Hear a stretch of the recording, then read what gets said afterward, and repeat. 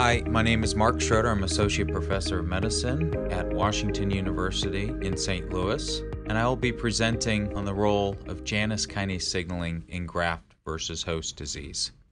Graft versus host disease occurs after allogeneic stem cell transplant and can affect 25 to 55% of patients in its acute form and up to 40% of patients in its chronic form that usually occurs within the first two years.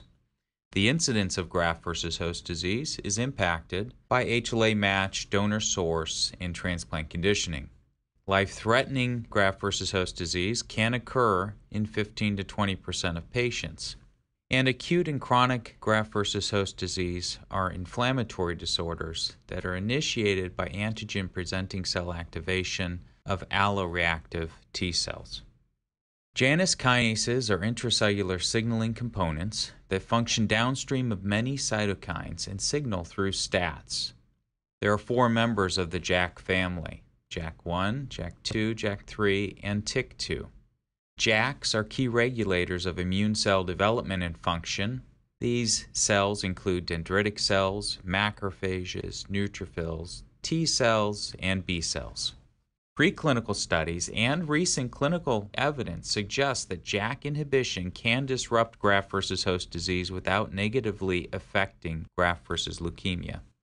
JAKs are important effectors of all phases of graft versus host disease by transducing inflammatory signaling downstream of cytokines and regulating development and function of immune cells, including antigen presenting cells and T cells.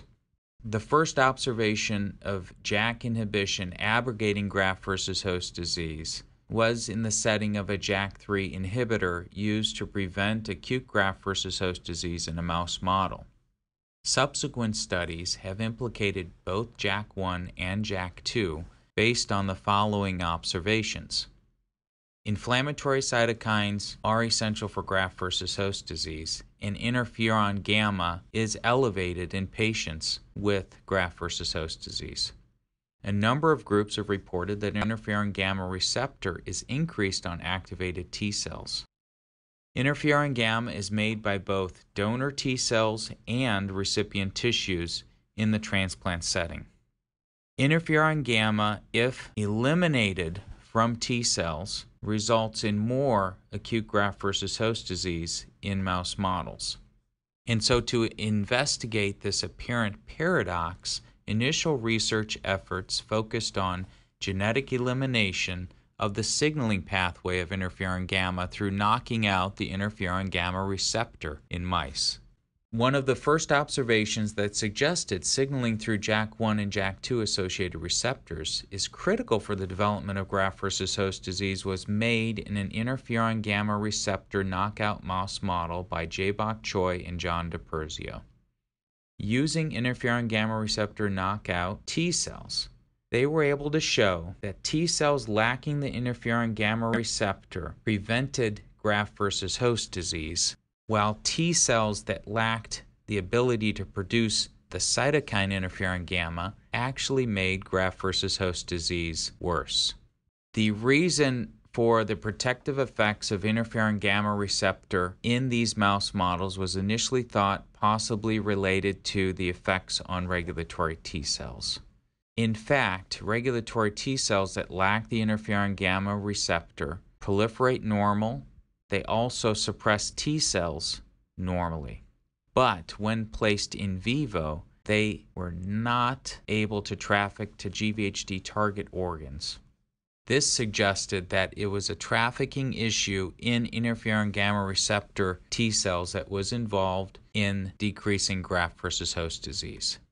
In an extensive search of what chemokines and chemokine receptors may be involved in the signaling from interferon gamma receptor, Dr. Choi and his group performed an extensive flow analysis of activated T cells, and the only chemokine receptor that was differentially expressed in interferon gamma receptor knockout T cells compared to wild type T cells was CXCR3. This chemokine receptor is expressed in T cells, and its ligand, CXCL10, is overexpressed in patients with acute graft versus host disease. Interferon gamma receptor regulates the expression of this chemokine receptor on activated T cells and thereby affects their trafficking to GVHD target organs as shown in this figure with interferon gamma receptor knockout T cells lacking trafficking to the gut and interferon gamma receptor knockout T cells fail to increase expression of the chemokine receptor CXCR3 when activated. In an attempt to target the interferon gamma receptor, and because there was no blocking antibody available at that time for the receptor, this group targeted JAK-STAT signaling. Interferon gamma receptor signals through JAK1 and JAK2.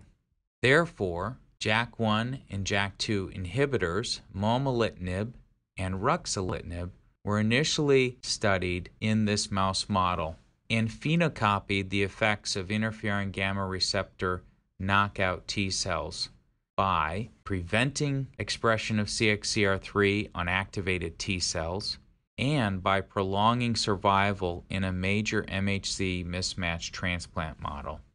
In addition to these initial observations implicating JAK signaling through interferon gamma receptor, off target effects were also suspected based on the following observation. Interferon gamma receptor knockout T cells, when transplanted in a major MHC mismatched mouse model, partially abrogated graft versus host disease. But when these T cells were combined with the JAK1 JAK2 inhibitor ruxolitinib, graft versus host disease was completely abrogated, suggesting that the JAK1 2 inhibitor ruxolitinib was also acting outside of the interferon gamma receptor pathway. These effects have been hypothesized to be on antigen presenting cells or potentially through affecting alternative cytokine pathways such as IL 6, interleukin 12, and interleukin 23. There may also be off target cellular effects on neutrophils or on the expression of chemokine receptors within GVHD target organs. Based on these initial observations and our understanding of graft versus host disease, there are several additional notes to be made when it comes to JAK and graft versus host disease. Graft versus host disease can be broken into three phases, and in all of these phases, JAK signaling is at play. The first phase of graft versus host disease is initiation of inflammation. This leads to activation of antigen presenting cells. JAK signaling is essential for the activation of antigen presenting cells and for the function of dendritic cells. Immediately following allogeneic stem cell transplant, inflammatory cytokines such as IL 1, IL 6, interferon gamma, and TNF alpha are high, as well as damage associated and pathogen associated molecular patterns. And these inflammatory cytokines signal through JAK-STAT pathway and activate antigen presenting cells. This activation leads to antigen presenting cells trafficking to regional lymph nodes.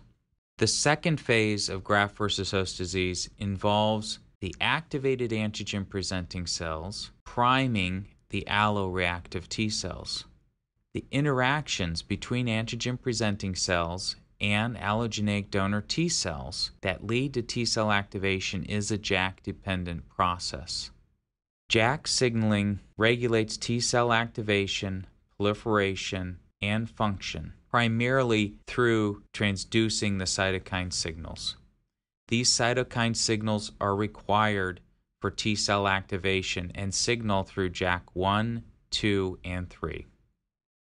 Studies have shown that inhibition of JAK1, 2, or 3 decreases T cell production of inflammatory cytokines such as interferon gamma, IL 17, and IL 2.